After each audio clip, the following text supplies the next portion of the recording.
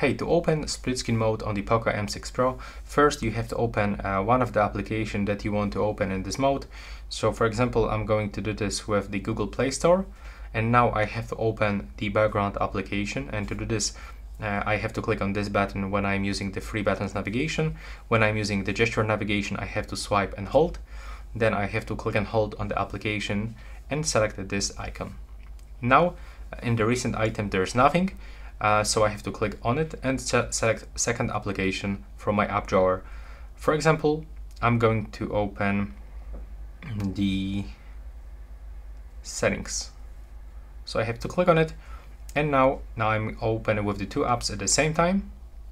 And if I want to resize the applications, all I have to do is just to click on this white line and move it up and down to adjust the size of both applications. And if I want to close this mode, I have to swipe up like this. And that's all right now. Please subscribe to my channel and see you on the next one.